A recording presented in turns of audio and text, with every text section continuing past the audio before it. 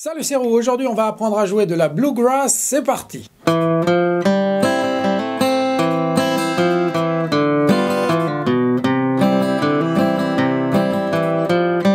Qu'est-ce que la bluegrass? Vous avez cliqué sur cette vidéo, vous voulez le savoir, je vais vous le dire sans détour. Eh bien, c'est un sous-genre ou un dérivé de la musique country, donc musique traditionnelle folk américaine qui est apparue dans les années 40, formée par le musicien Bill Monroe et son groupe, les Bluegrass Boys. Alors peut-être que la musique euh, folk traditionnelle américaine pour le public francophone, eh bien c'est un petit peu loin. On s'en tape un petit peu, vous avez tort chers amis, car ça sonne vraiment excellent. Il y a des trucs super sympas à faire avec la guitare. Et vous allez me dire, mais t'as toujours pas répondu à ma question.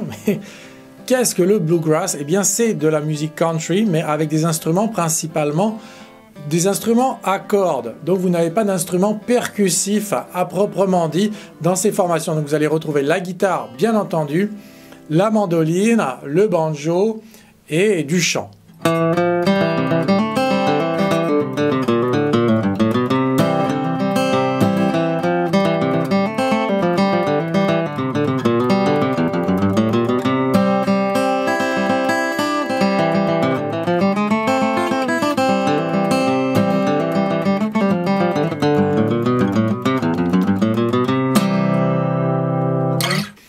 Alors, je ne vous demanderai pas d'en écouter à longueur de journée, mais ce que je vais vous montrer, vous allez voir, il y a des petits motifs sympas, particulièrement avec cette fameuse technique du flat picking.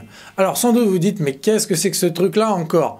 En fait, c'est simplement le jeu au médiator opposé au jeu en picking. Parce que vous savez que dans la musique country, il y a aussi le picking dont je parle souvent sur cette chaîne.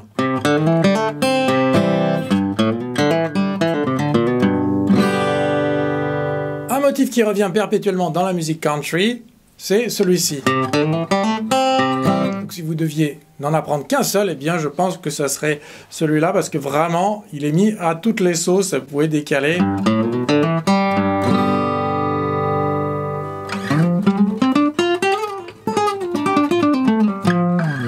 Donc alors vous démarrez autour d'un Do majeur, troisième case, là où vous avez votre doigt sur la basse, hammer-on, corde de Ré sur la première et la deuxième case. Avec le doigt numéro 2, le hammer-on sur la corde de Sol, deuxième case. Et le doigt numéro 1, naturellement, va trouver sa place sur la première case, corde de Si. 3, 0, 1, 2. Changement de corde, 0,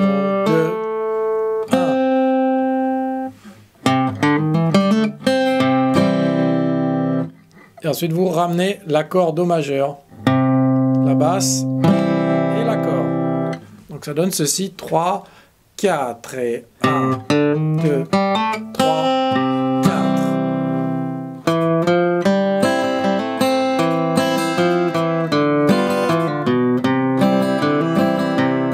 On va séparer ça en deux parties. Il va y avoir la version simple et la version un petit peu plus sophistiquée. Alors, ce morceau, en fait, ce que je viens de vous jouer, là, c'est un arrangement du très célèbre, pour ceux qui le connaissent, Wildwood Flower. Alors, c'est un, morceau de, country, donc euh, traditionnel américain. Et en général, voilà, quand on joue de la bluegrass, celui-là, on y a droit à chaque fois. La première chose que vous devez faire quand vous vous attaquez à un nouveau morceau, c'est déjà d'essayer un petit peu de comprendre comment ça fonctionne avant d'essayer de déchiffrer les tablatures. On a trois accords. Trois accords, c'est une super affaire ça. Do, votre accord de Do majeur, un accord de Sol 7, et on revient sur le Do. Alors ce que je fais, c'est je joue 1, donc j'ai ma basse qui alterne. La troisième case, corde de La, la cinquième corde, et la troisième case, corde de Mi, la sixième corde. Donc je vais avoir trois accords, trois accords. Et quand je vais aller plus vite pour donner un petit peu de dynamique, eh bien je vais faire un aller-retour.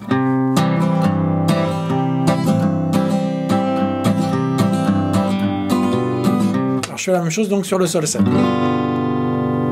Regardez ma leçon sur le style Johnny Cash si vous aimez ce style un peu country folk. Mais c'est pas ce qu'on va voir maintenant. Le début commence comme ceci. Deux,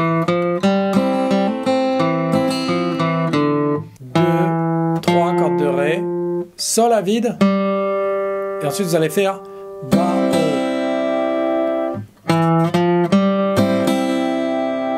Et donc vous allez strummer les accords entre ces notes qui vont être jouées avec des hammers, des hammers on ou des hammer ons. Je ne sais pas où on doit mettre le S dans ce cas.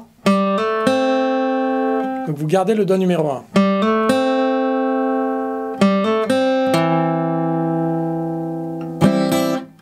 Deuxième casse-corde de Ré et un aller-retour.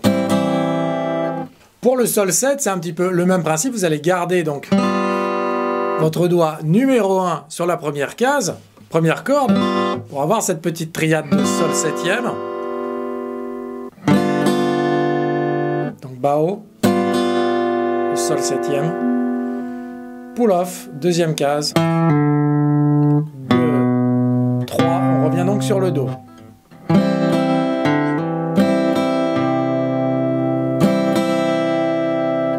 Comme souvent dans le blues ou dans beaucoup de styles, on va répéter les formes précédentes. Donc vous n'avez pas besoin de réapprendre, vous allez le jouer une deuxième fois.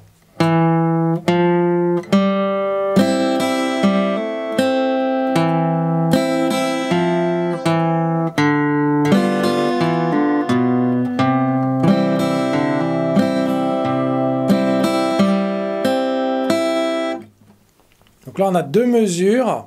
La fin de la mesure numéro 6, 0, 1, 0. Et au lieu de faire, on va faire 0, 1. Donc un petit peu plus rapide. 3, 1. Encore donc l'accord qui va intervenir entre les notes. Donc le passage en Fa, il est très très court et vous allez former un demi-barré avec votre doigt numéro 1 sur la première case. Vous allez faire ce demi-barré première case et le hammer-on sur la corde de Sol deuxième case. Vous gardez le doigt en position première case. Ensuite vous relâchez pour revenir sur le Do. Sol, là, le saut de corde de Sol la cinquième corde, il va être plus difficile. Si vous allez hammer on pour revenir au cycle en Do.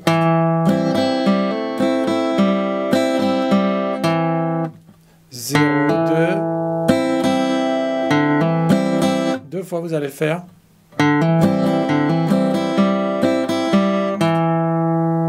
Sol, corde de Ré, le Sol 7 off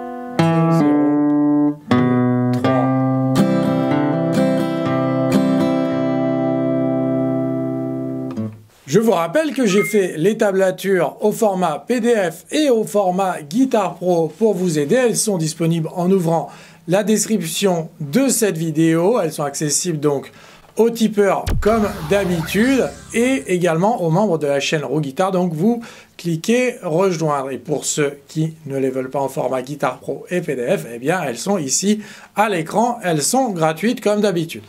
1, 2, 3, 4 et 1.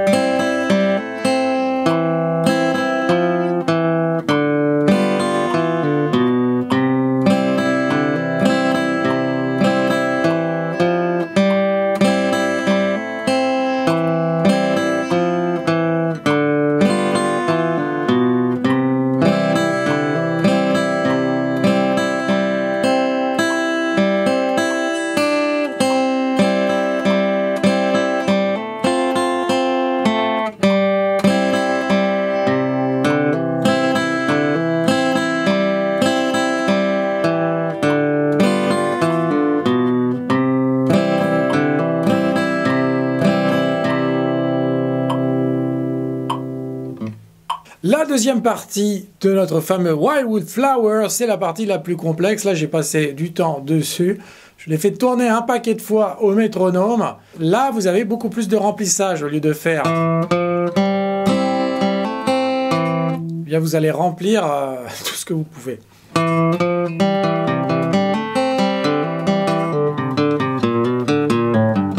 vous voyez que c'est que de la, de la double croche en tout cas, dans le cas présent. Donc, va falloir à la fois bien bien maîtriser ces formes de base, être à l'aise avec les changements de cordes au niveau de la main chevalet et surtout mémoriser les notes parce que là c'est un sacré paquet de spaghettis à démêler. 1, 2, 3, 4 et...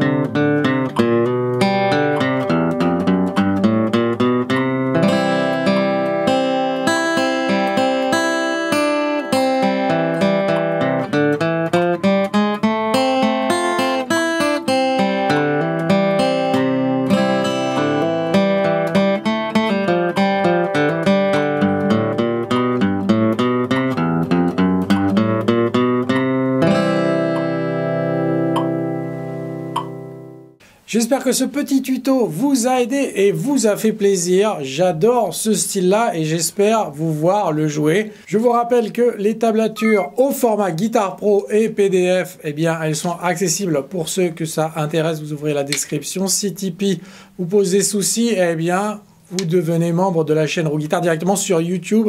Vous cliquez sur le bouton rejoindre, laissez-vous guider. Je vais tout vous expliquer et vous aurez également les tablatures pour pouvoir le travailler. J'espère que ça vous a intéressé ce petit, ce petit morceau et d'apprendre des nouveaux styles. Ça nous change un petit peu des Wonderwall et compagnie, qui sont des morceaux sympas évidemment, mais voilà, c'est toujours les mêmes qu'on joue, c'est toujours les mêmes qu'on entend. Je vous attends avec impatience pour notre prochain tuto guitare. À très bientôt. Bye bye.